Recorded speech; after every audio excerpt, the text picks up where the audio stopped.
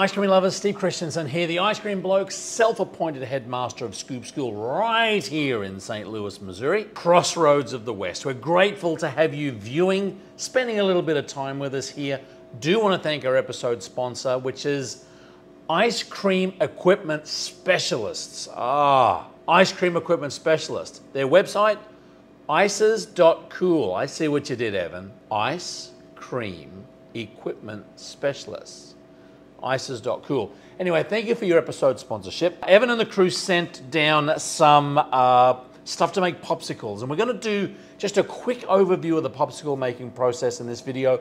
We're going to drill down into some of the other segments. Primarily today, what we're going to do is turn this into this. Shing! yeah, that's what we're going to do. And you can do it a number of different ways. You can use the traditional uh, popsicle mold, a silicon mold. Let's just put this back until we're finished. Shing! Okay. Uh, now, so look, you might not think that I'm not high volume yet, and, and this is a good place to start. This is a silicon mold. There are a lot of them out on the market. This is by Silikomart. The nice thing is it has stick guides in it. When you're putting sticks into a mold, you want to make sure from a presentation standpoint that they look beautiful. We're going to talk presentation in another video, but here you've got this stick guide so that all of the sticks are the same uh, length in, at the same angle, a really good design. But when you want to up your popsicle game, you can move into a popsicle machine where you're using more of this kind of apparatus, uh, like this. This is a popsicle mold uh, from Ataforma. They are the kind of primo in popsicle molds. Uh, and we're just going to show you just a very brief overview how you make popsicles uh, in the molds and using a popsicle machine. Okay, so there's a lot of great equipment that you can get that goes along with your popsicle making process. This here is a stick holder and a stick aligner. A lot of presentation goes into the idea that all of those sticks need to be aligned beautifully straight, and that's what that does. It also helps with the extraction process. Here you can see that we're using mix. Now, I like squeeze bottles. I like the squeeziness of them. They're, I find them a lot more um, uh, exact in the process. We've used a little strawberry extract in half of them.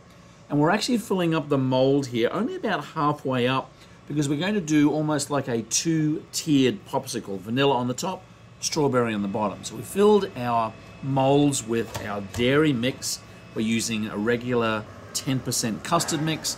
And then we come over to our popsicle machine. Now this is the smallest one. Um, and it is an EMP 200. Now you find that even if you're only making one tray, you do need to make sure that the rest of the molds are in because it brings the either the glycol level up to the point where it needs to be. Once that first round of vanilla is nice and firm in there, then you take basically the stick holder off and you fill up the balance with our strawberry. You can kind of see it there. We give it another little check before we put the stick holder back on. And you really need to lock these into place in order to make sure that you're pulling them all out. And you can buy an extractor, um, which is basically a, a bath type product. But here we're just putting them in a bus pan with a little bit warmer than room temperature water. And then Bob's your uncle. You basically grab that handle and pull them out, and there you have some absolutely delicious strawberry and vanilla popsicles. They look great, they're very well consistent. I absolutely love them. So folks, just a very brief overview. Again, we're to do a bit of a pop series where we're going to basically talk about popsicles, talk about popsicle. Big song in the 80s, look it up. Uh, I even forget who sang that.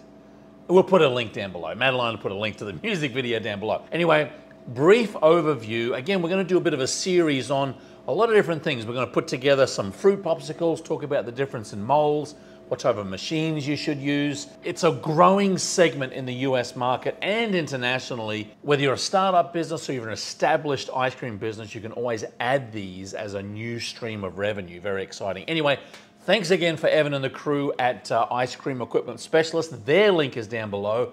And as we always say, keep on scooping. We'll see you in the next video.